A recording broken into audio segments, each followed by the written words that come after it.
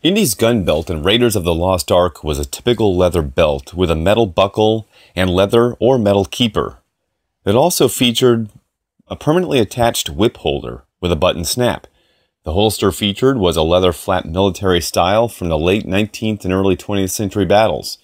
In Raiders of the Lost Ark, when seen on screen fighting off Germans and would-be assassins, Jones uses a revolver. Smith & Wesson's hand ejector fast empty fast load 45s were popular with the military in the late 1800s and early 1900s. After much time and investigation, it was found Indy used the Smith & Wesson 1917 45 ACP and Smith & Wesson hand ejector Model 2 with cut down 4-inch barrels. In Marion's bar, he's using a Browning HP.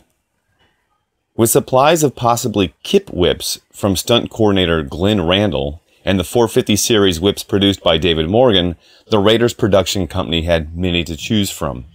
Morgan's heavy and short handled American style bullwhips were 6 to 16 feet long, 12 plats, and made from kangaroo hide.